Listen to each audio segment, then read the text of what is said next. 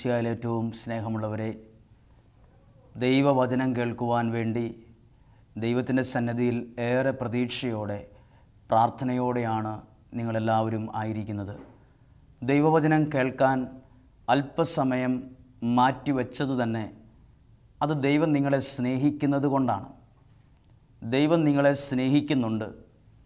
ദൈവം സ്നേഹിക്കുന്നുണ്ടെന്ന് നമുക്ക് നമ്മുടെ ജീവിതത്തിൽ പല അനുഭവങ്ങളിലൂടെയും അനുഭവമായിട്ടുണ്ട്. ദൈവം സ്നേഹിക്കുന്ന ദൈവമാണ്. ദൈവം നമ്മളോട് സംസാരിക്കുന്ന ദൈവമാണ്. ദൈവം നമ്മളോട് സംസാരിക്കും. ദൈവവചനത്തിലൂടെ സംസാരിക്കും.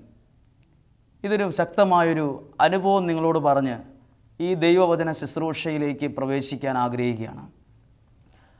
വളരെ കടബാധ്യതയിൽ കഴിഞ്ഞ ഞാൻ ഈ അനുഭവം നിങ്ങളോട് പറയുന്നത് ഈ ദൈവം നമ്മളോട് സംസാരിക്കും.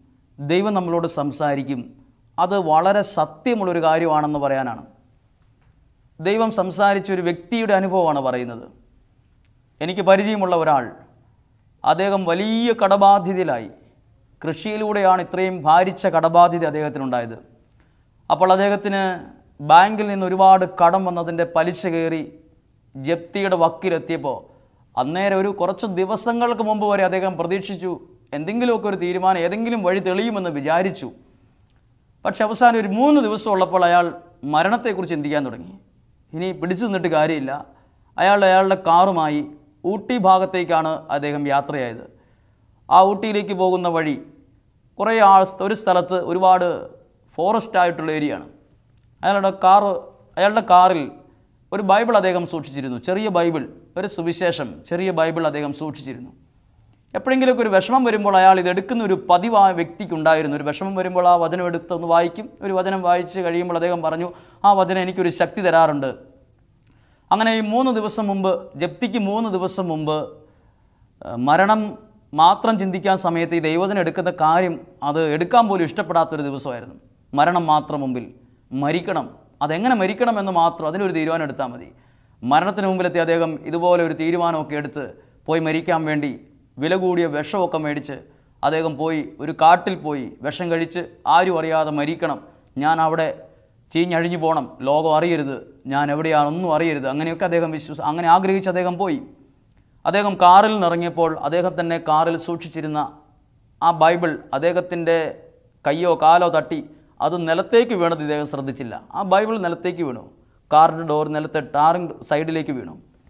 പക്ഷെ അതിലെ വന്ന ഒരു പാവപ്പെട്ട മനുഷ്യൻ അല്പം ദൂരെ നിന്ന് കണ്ടായിരുന്നു ഇയാൾ കാറിൽ ഒരു ബുക്ക് താഴേക്ക് വീഴുന്നത് കണ്ടു. ദൈവം ശ്രദ്ധിച്ച് ഇയാൾ ഇത് എടുക്കാതെ ഉള്ളിലേക്കുള്ളിലേക്ക് ഉള്ളിലേക്ക് കയറിപ്പോയ കണ്ടപ്പോൾ ഇതെന്തേലും വിലയുള്ളൊരു പുസ്തകമായിരിക്കും വിചാരിച്ച് ഈ പുസ്തകം ഇതെടുത്ത് ആ ഒരു തമിഴ്നാട്ടുകാരനാണ് അയാളെടുത്ത് ഇയാളുടെ പുറകെ കയറി ചെന്നു. അപ്പോൾ ഇയാൾ കുറച്ച് മുന്നേ പോകുമ്പോൾ ഒരാൾ പുറകെ വരുന്നു. അയാൾ എന്തോ പറയുന്നുണ്ട്.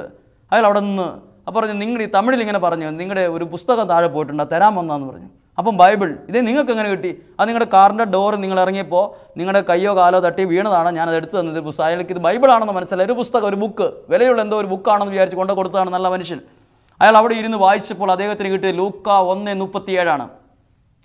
അതാണ് ദൈവവചനം സംസാരിച്ചതായിട്ട് അദ്ദേഹം തോന്നിയത്. അയാൾ വെറുതെ ബൈബിൾ എടുത്ത് ഇങ്ങനെ തുറന്നു. തുറന്നപ്പോൾ അയാൾ അതിനകത്ത് എഴുതിയിരിക്കുന്ന ഒരു വാക്ക് അയാൾ തന്നെ എപ്പോഴോ പേന കൊണ്ട് വരച്ചിട്ടിരിക്കുന്ന ഒരു വാക്കാണ്. ദൈവത്തിനൊന്നും അസാധ്യമല്ല. അയാൾ ആ ബൈബിൾ പെട്ടെന്ന് അടച്ചിട്ട് മുറുക്ക പിടിച്ചിട്ടപ്പോൾ ആ ബൈബിളിൽ നിന്ന് ഒരു ശബ്ദം ഇങ്ങനെ അയാൾ പറയുന്ന പോലെ നിന്റെ കടമൊക്കെ ദൈവം വീട്ടും. ഇയാൾ ഇത് കേൾക്കുവാണ് ഈ ബൈബിളിൽ നിന്ന് കേൾക്കുവാണ് നിന്റെ കടമൊക്കെ മാറും നിന്റെ കടമൊക്കെ വീട്ടാൻ പറ്റും. ഇയാൾ ആ ഒരു ബലത്തിൽ ഇയാൾ താഴേക്ക് വന്ന് അയാൾ ആ വാഹനത്തിൽ തന്നെ കയറി അയാൾ നേരെ പോകാൻ ഉദ്ദേശിച്ച സ്ഥലത്ത് നിന്നൊക്കെ തിരിഞ്ഞ് നേരെ വീട്ടിൽ വേറൊരു മനുഷ്യനായി പെട്ടെന്ന് നല്ല പ്രത്യാശയോടെ വീട്ടിൽ പോവാണ്. അയാളുടെ കടബാധ്യതകളൊക്കെ മാറ്റാൻ അദ്ദേഹത്തിന്റെ നാളുകളായി പരിശ്രമിച്ചുകൊണ്ടിരുന്ന ഒരിക്കലും വിൽക്കാൻ സാധിക്കില്ല എന്നും പലരും അതിനൊടക്കു പറഞ്ഞിട്ടുള്ളൊരു സ്ഥലം നല്ലൊരു വിലയ്ക്ക് ആ സമയത്ത് വിൽക്കാനിടയാവുകയും സാമ്പത്തിക പ്രതിസന്ധി മാറുകയും സാമാന്യം സാമ്പത്തികമായ ഭദ്രതയിൽ ഇപ്പോൾ ജീവിക്കുകയും ചെയ്യുന്ന ഒരാളാണ്. ഇദ്ദേഹം പറയുന്ന ഒരു കാര്യം എന്നുവെച്ചാൽ ബൈബിളിൽ അക്ഷരങ്ങളുടെ രൂപത്തിൽ കണ്ട ദൈവത്തിന് നമ്മളോട് സംസാരിക്കാൻ പറ്റും. നമ്മളോട് പറയും ദൈവം നമ്മളോട് പറയും ദൈവം നമ്മളോട് മിണ്ടും. അത് നമ്മളെല്ലാവരോടും മിണ്ടിക്കൊണ്ടിരിക്കുമ്പോൾ ദൈവം മിണ്ടുന്നൊന്നും കേൾക്കാൻ പറ്റത്തില്ല. പക്ഷെ നമ്മുടെ ചില സങ്കടങ്ങൾ ദൈവത്തോട് പറയുമ്പോൾ ദൈവം നമ്മളോട് നമ്മുടെ ഏറ്റവും അടുത്ത സുഹൃത്ത് നമ്മളെ ആശ്വസിപ്പിക്കുന്നതിനേക്കാൾ പവർഫുള്ളായിട്ട് ആ ദൈവം നമ്മളോട് പറയും. നമ്മളോട് പറയും നിന്റെ കടം മാറും. ഇത് കേട്ടുകൊണ്ടിരിക്കുന്ന നമ്മളും ചിലപ്പോൾ വലിയൊരു പ്രതിസന്ധിയിലും വിഷമത്തിലും ഒക്കെ ഇരുന്ന് കേൾക്കുമായിരിക്കും. ഇച്ചിരി നേരം ദൈവോചനം കേൾക്കാമെന്നൊക്കെ വിചാരിച്ചായിരിക്കും ഇപ്പോൾ ഒരു ടി വിയുടെ മുമ്പിലും അല്ലെങ്കിൽ ശാലോൺ ടി വി തുറന്നൊക്കെ നമ്മൾ ഇരിക്കുന്നത്. ഒരുപക്ഷെ ദൈവം നിങ്ങളോട് ദൈവം വചനത്തിലൂടെ പറയാണ് ഏത് പ്രശ്നം തകടം മറിഞ്ഞ പ്രശ്നമാണെങ്കിലും അത് മാറ്റാൻ ദൈവത്തിന് ഒരു മിനിറ്റ് പോരെ. ഏത് കുഴഞ്ഞു മറിഞ്ഞ പ്രശ്നത്തിലും ദൈവം തൊട്ടാൽ ഒരു സെക്കൻഡ് മതി മാറാൻ ഒരു രാത്രി പോലും വേണ്ട. ദൈവം നമ്മുടെ ജീവിതത്തിൽ ഇടപെട്ടാൽ പത്ത് ദിവസം വേണ്ട നമ്മുടെ പ്രശ്നങ്ങൾ മാറാൻ. ഒരു മണിക്കൂർ വേണ്ട ഒരു സെക്കൻഡ് മതി. അങ്ങനെ വിശ്വസിക്കുന്ന ഒരാളാണ് ഞാൻ. ദൈവം നമ്മുടെ ജീവിതത്തിൽ തൊട്ടാൽ നമ്മുടെ എല്ലാ പ്രശ്നങ്ങളും മാറും. നമ്മുടെ ജീവിതത്തിൽ ദൈവം ഇടപെടുമ്പോൾ നമ്മുടെ ജീവിതം തന്നെ മാറും. ഒരുപക്ഷെ ബുദ്ധി പറയും ഒന്ന് നമ്മളെ വിശ്വാസം പറയും. ഇതെപ്പോഴും ശ്രദ്ധിക്കണം. ഒരു പ്രശ്നം നമ്മൾ നേരിട്ട് കാണുമ്പോൾ നമ്മുടെ ബുദ്ധി അന്നേരെ പറയാൻ തുടങ്ങിക്കൊണ്ടിരിക്കും. അത് നടക്കുകയില്ല അത് ശരിയാവുകയില്ല അത് അങ്ങനെയൊക്കെ ആയിരിക്കും ഇതിങ്ങനെ ആവുള്ളൂ. നമ്മുടെ ബുദ്ധി നമ്മളോട് പറയുന്നതല്ല നമ്മൾ കേൾക്കേണ്ടത്. വിശ്വാസം എന്നാ പറയുന്നതെന്ന് കേൾക്കണം. അത് കേൾക്കണം. വിശ്വാസം നമ്മളോട് പറയും. പ്രശ്നങ്ങൾ മാറും. നല്ലൊരു ജീവിതമാണല്ലോ നിനക്ക് കർത്താവ് കാണിച്ചു തരുന്നത് നല്ലൊരു അനുഗ്രഹമാണല്ലോ നിനക്ക് കിട്ടുന്നത് നിന്റെ ജീവിതത്തിലെ പ്രശ്നങ്ങൾ മാറും. അത് വിശ്വാസം പറയുന്നതാ. പ്രിയപ്പെട്ടവരെ നമ്മൾ ആദ്യം കേൾക്കുന്നത് ബുദ്ധിയുടെ വാക്കായിരിക്കും. അബ്രാഹവും സാറായും മക്കളില്ല മക്കളുണ്ടാകുമെന്ന് ദൈവത്തിന്റെ വാഗ്ദാനം ഉള്ളപ്പോൾ നൂറ് വയസ്സായിട്ടും മക്കളില്ലാതിരുന്നപ്പോൾ അവരുടെ ബുദ്ധി പറഞ്ഞതെന്നറിയോ? ഇനി സാധ്യതയില്ല. ഇനി മെഡിക്കൽ സയൻസിനൊന്നും ഇത് പോസിബിൾ ആയിട്ടുള്ള കാര്യമല്ല. ഇമ്പോസിബിളാണ് ബുദ്ധി അങ്ങനെയാ പറഞ്ഞേ. ബുദ്ധി പറയുന്നതും വിശ്വാസം പറയുന്നതും രണ്ടായിരിക്കും. നമ്മൾ ശ്രദ്ധിക്കേണ്ടത് ബുദ്ധി പറയുന്നതല്ല. വിശ്വാസം പറയുന്നത് നമ്മൾ ശ്രദ്ധിക്കണം. നമ്മൾ വിശ്വാസം പറയുന്നത് ശ്രദ്ധിക്കുന്നില്ല. പ്രിയപ്പെട്ടവരെ ദൈവവചനം നമ്മളോട് ഒരു മനുഷ്യൻ നമ്മളോട് പറയുന്ന പോലെ നമ്മളോട് പറയും. ഇനി ശ്രദ്ധിച്ച് ഞാൻ ഇന്ന് നിങ്ങളോട് ദൈവവചനത്തിലൂടെ പറയുന്നത്. നമ്മളോട് ചില കാര്യങ്ങൾ ദൈവം പറഞ്ഞിട്ടുണ്ട് ചിലരിലൂടെ. ചിലരിലൂടെ. അത് ദൈവത്തിന്റെ ഒരു വാക്കാണ്. അത് കൂടുതലായിട്ട് ദൈവത്തിന്റെ സ്വരം നമ്മൾ കേൾക്കുന്നത് ഒരു പക്ഷേ ചിലപ്പോൾ കൗൺസിലിങ്ങിലൂടെ ആയിരിക്കും ഒരു വഴിയേ മറയുന്നുള്ളൂ. ദൈവം സംസാരിക്കുന്നത് നമ്മൾ ചിലപ്പോൾ ഇന്ന് ധ്യാന കേന്ദ്രങ്ങളും കൗൺസിലേഴ്സും ഒക്കെ ഒത്തിരി പരിശുദ്ധാത്മാവിന് കൃപയുള്ളവരുണ്ട്. കൃപയുള്ളവരുണ്ട്. അവർ നമ്മളോട് പറയും ദൈവത്തിന്റെ വാക്ക് അയാളുടെ അടുത്ത് പോയിരുന്ന് നമ്മൾ പ്രാർത്ഥനയോടെ ഇരിക്കുമ്പോൾ ദൈവം അയാളോട് പറയും. ദൈവം പറയും അത് സത്യമായിട്ട് നമ്മുടെ ജീവിതത്തിൽ സംഭവിക്കും. അത് ദൈവത്തിന്റെ വാക്കാണ്. ദൈവത്തിന്റെ സ്വരം അങ്ങനെ കേൾക്കാൻ പറ്റും. ഇനി ശ്രദ്ധിക്കുക വളരെ പ്രധാനപ്പെട്ട ഒരു ഉൽപ്പത്തി പുസ്തകത്തിൽ മുപ്പത്തിയേഴാം അധ്യായത്തിൽ ജോസഫിനെക്കുറിച്ച് ഒരു ദൈവവചനമുണ്ട്. ഇപ്പോൾ നിങ്ങൾ ചിന്തിക്കും ജോസഫിനെക്കുറിച്ചാണോ ഇഷ്ടംപോലെ ഞങ്ങൾ കേട്ടിട്ടുണ്ട്. കാരണം ജോസഫിനെക്കുറിച്ച് പേര് കേൾക്കുമ്പോൾ തന്നെ ഞങ്ങളത് മുഴുവൻ കാണാപ്പാടം ഒരു കഥ പോലെ നിങ്ങളുടെ മനസ്സിൽ ഇപ്പോൾ തെളിഞ്ഞു വരും. കാരണം ജോസഫ് എന്ന വ്യക്തി ആരാണ് എന്താണ് ഒന്നുമില്ലായ്മയിൽ നിന്ന് എല്ലാവരും പൊട്ടക്കണറ്റിലിട്ടു. ഇതൊന്നുമല്ല ഞാനിപ്പോൾ പറയാൻ പോകുന്നത്. ജോസഫിന് ലഭിച്ച ഒരു വാഗ്ദാനമുണ്ട്. ജോസഫിന് എപ്പോഴാണ് ഈ വാഗ്ദാനം കിട്ടിയത്? ജോസഫിന് കിട്ടിയ വാഗ്ദാനം മുപ്പത്തേഴാം അധ്യായത്തിൽ നാലാമത്തെ വാക്യം തൊട്ട് താഴോട്ട് അഞ്ചാമത്തെ വാക്യം തൊട്ട് താഴോട്ട് വായിച്ചാൽ മതി. മുപ്പത്തിയേഴാം അധ്യായം അഞ്ചാമത്തെ വാക്യം. ജോസഫിന് ഒരു സ്വപ്നമുണ്ടായി. നമ്മൾ കാണുന്ന ഒരു സ്വപ്നമായിട്ട് ഇതിനെ സാധാരണ ഒരു സ്വപ്നത്തിന്റെ കാറ്റഗറിയിൽ ഇതിനെ പെടുത്തരുത്. ഈ സ്വപ്നത്തിനൊരു പ്രത്യേകതയുണ്ട്. ഈ സ്വപ്നത്തിലൂടെയാണ് ജോസഫിനോട് ദൈവം സംസാരിച്ചത്. ദൈവം സംസാരിച്ച കാര്യം ഇതാണ്. ഇങ്ങനെ ഒരു മെസ്സേജാണ് കൊടുത്തത്. കണ്ട സ്വപ്നത്തിലൂടെയാണ് ഈ മെസ്സേജ് വായിച്ചെടുക്കാൻ പറ്റുന്നത്. തന്റെ പറമ്പിലെ കൃഷി നടത്തുന്ന കൃഷി മേഖലയിൽ ഗോതമ്പിന്റെയോ നെല്ലിന്റെയോ കതിര് കൊയ്തെടുക്കുന്ന സമയത്ത് ജോസഫ് കാണുവാണ് സ്വപ്നത്തിൽ.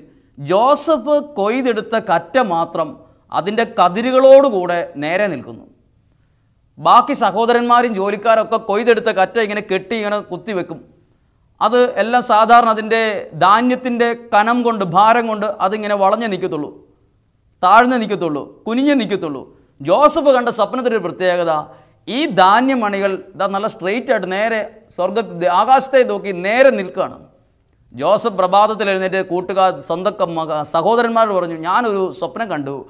നമ്മളെല്ലാം ഒരുമിച്ച് ഇങ്ങനെ പണിയെടുത്തുകൊണ്ടിരിക്കുമായിരുന്നു ഒരുമിച്ച്. ഒരുമിച്ച് പണിയെടുത്തുകൊണ്ടിരിക്കുമ്പോൾ ഞാൻ ഇങ്ങനെ കൊയ് കറ്റ നെല്ല് നെല്ലോ ഗോതമ്പോ ഇങ്ങനെ കൊയ്തെടുത്ത് ഞാനത് വെച്ചപ്പോൾ എന്റെ കറ്റ മാത്രം അത് നേരെ നിന്നു. നിങ്ങൾ കൊയ്തെടുത്ത് അടുക്കി വെച്ചതൊക്കെ ഇങ്ങനെ വാടി തളർന്നും ഇങ്ങനെ നിൽക്കുന്നതായിട്ട് ഞാൻ കണ്ടു. അപ്പോൾ ഇവർ കളിയാക്കി ഇങ്ങനെ ചോദിച്ചു ഞങ്ങളെല്ലാവരും നിന്നെ ഇങ്ങനെ കുമ്പിട്ട് ആരാധിക്കുന്നാണോ നീ പറയുന്നേ? എന്ന് ചോദിച്ചു. ഒന്ന് കളിയാക്കി അവരുടെ മനസ്സിൽ ഒരു അസ്വസ്ഥതയുണ്ടായി. ഇവൻ വലിയ ആളാവുമോ ഇവൻ വലിയ ആളാകുന്നതാണോ ഇതിന്റെയൊക്കെ അർത്ഥം? എന്ന് അവർ ഉള്ളിൽ ചിന്തിച്ചു. വീണ്ടും മറ്റൊരു സ്വപ്നം ജോസഫ് കണ്ടു. സ്വപ്നം കണ്ടത് ഇതാണ്. സൂര്യനും ചന്ദ്രനും നക്ഷത്രങ്ങളും ജോസഫിനെ കുമ്പിട്ട് ആരാധിക്കുന്നു. അപ്പോൾ അപ്പൻ ചോദിച്ചു ഞങ്ങളൊക്കെ നിന്നെ ആരാധിക്കുമെന്നാണോ നീ വിശ് ചിന്തിക്കുന്നത്? എന്തായാലും ഇതിന് മറുപടി കൊടുത്തില്ല. പക്ഷേ ഒരു കാര്യം കേട്ടോ ജോസഫിന് ദൈവം കൊടുത്ത മെസ്സേജ് നീ വലിയൊരാളാകാൻ നിനക്കൊരു ദൈവത്തിന്റെ ക്ഷണമുണ്ടെന്ന് അതിന്റെ അർത്ഥം. ഒരു വാഗ്ദാനം കൊടുക്കുക പക്ഷേ അവന് കിട്ടിയത് എന്തൊക്കെയാണ്? കിട്ടിയത് പൊട്ടക്കിണറാണ്. ആദ്യം കിട്ടിയത് സഹോദരന്മാർ തള്ളിയ പൊട്ടക്കിണറ്റിലേക്ക് ഇട്ടതാണ്. പിന്നെ കിട്ടിയത് അടിമ ജോലിയാണ്. പിന്നെ കിട്ടിയത് പട്ടിണിയാണ്. പിന്നെ ഒരു വിഷമവും വേദനയുള്ള സാഹചര്യത്തിലൂടെയാണ് കടന്നുപോയത്. എന്തുകൊണ്ട് ദൈവം ഈ മെസ്സേജ് കൊടുത്തില്ല? എന്തുകൊണ്ട് ഈ മെസ്സേജ് കൊടുത്തില്ല? ഞാൻ ചിന്തിക്കുകയാണ് അങ്ങനെയാണെങ്കിൽ ദൈവത്തിന് പറയാൻ പാടില്ലേ? ഞാൻ നിനക്ക് വേണ്ടി ഒരു പൊട്ടക്കിണർ ഇങ്ങനെ ഉണ്ട്. നീ അതിൽ വീഴാൻ സാധ്യതയുണ്ട്. നിന്റെ ഒരു സഹോദരന്മാരിൽ ഒരാളായിരിക്കും തള്ളിയിടുന്നത്. നിന്നെ ഇങ്ങനെ അടിമ ജോലിക്ക് വിൽക്കുന്നതായിട്ടൊക്കെ കാണുന്നുണ്ട്. അല്ല നീ ഇപ്പോൾ വലിയൊരു സങ്കടമൊക്കെ വലിയൊരു പ്രശ്നത്തിലൂടെ നീ കടന്നു പോകുന്നതായിട്ടാണ് കാണുന്നത്. ഇങ്ങനെ ഒരു മെസ്സേജ് ദൈവം കൊടുത്തില്ല. ദൈവം കൊടുത്ത വാക്ക് നോക്കി നീ വളരും. നിന്നെക്കുറിച്ച് ദൈവത്തിന് ഒരു വാഗ്ദാനമുണ്ട്. നിനക്കൊരു നല്ല ഭാവിയുണ്ട് ഒരു ബ്രൈറ്റ് ഫ്യൂച്ചറുണ്ട് നീ അതിന് അപ്പം ജോസഫ് എന്തുകൊണ്ടാണ് ഈ പൊട്ടക്കണ്ടത്തിലേക്ക് തള്ളിയിട്ടപ്പം ടെൻഷൻ ആവാഞ്ഞേ? ജോസഫിന് ഒരു ബോധ്യം ഉണ്ടായിരുന്നു. എന്റെ ദൈവം വാഗ്ദാനങ്ങളിൽ വിശ്വസ്തനാണ്. ഇത് കേട്ടുകൊണ്ടിരിക്കുന്ന എത്ര പേർക്ക് ഈ ബോധ്യമുണ്ട്? പ്രിയപ്പെട്ടവരെ ജോസഫിന്റെ വാഗ്ദാനം നീ ഒരു വലിയ ആളാവുന്നതാണ് ആ വാഗ്ദാനം ആ വാഗ്ദാനത്തിൽ എത്തിച്ചേരാൻ വേണ്ടി ചില പൊട്ടക്കടത്തിൽ വീഴേണ്ട സാഹചര്യങ്ങൾ ഉണ്ടായി. ചിലപ്പോൾ നമ്മളെ നോക്കിയിട്ട് ചിലർ ദൈവത്തിന്റെ വാക്ക് പറഞ്ഞിട്ടുണ്ടാവും. നീ ഒരു വലിയ ഒരാളാവും കേട്ടോ. നിന്റെ പ്രശ്നങ്ങളൊക്കെ മാറും. ചിലപ്പോൾ വീടില്ലാത്തൊരു സമയത്ത് സങ്കടപ്പെട്ടിരിക്കുമ്പോഴായിരിക്കും പറയുന്നത് നല്ലൊരു വീട് കർത്താവ് കാണിച്ചു തരുന്നുണ്ടല്ലോ. ചിലപ്പോൾ ജോലിയില്ലാതെ പൈസ ഇല്ലാണ്ട് വളരെ വിഷമിച്ചിരിക്കുമ്പോഴായിരിക്കും പറയണത് ഇതൊക്കെ മാറി മറിയും കേട്ടോ. നല്ലൊരു ജോലി വിദേശ ദൈവം ഒരുക്കി തരുന്നുണ്ട്. പെട്ടെന്ന് നമ്മൾ നാളെ തന്നെ നോക്കുമ്പോൾ ആ ജോലി വന്നില്ലെന്നിരിക്കും. ഒരു മാസം കഴിഞ്ഞ് നമ്മൾ നോക്കുമ്പോൾ വീട് വന്നിട്ടുണ്ടാവില്ല. അപ്പം നമ്മൾ ആകെ ഒരു സങ്കടമാണ് പ്രസരമാണ് വീണ്ടും കടമാണ് പട്ടിണിയാണെന്ന് പറയുമ്പോൾ നമ്മൾ പെട്ടെന്ന് ചിന്തിക്കും ചുമ്മാ കൗൺസിലർ തെറ്റിപ്പോയതാണെന്ന് വിചാരിക്കും. എന്നാൽ ശ്രദ്ധിച്ച് നമ്മളോട് ദൈവത്തിന്റെ വാക്ക് ആരെങ്കിലും പ്രാർത്ഥിച്ചിട്ട് ദൈവത്തിന്റെ വാക്ക് പറഞ്ഞിട്ടുണ്ട് നിന്റെ ഇപ്പോഴത്തെ പ്രശ്നമൊക്കെ മാറുമെന്ന് ഒരിക്കലെങ്കിലും ദൈവത്തിന്റെ നാമം വിളിച്ച് പ്രാർത്ഥിക്കുന്ന ഒരാൾ നമ്മളോട് പറഞ്ഞിട്ടുണ്ടെങ്കിൽ അത് ഇന്നല്ലെങ്കിൽ നാളെ നമ്മളിൽ അത് നടക്കും.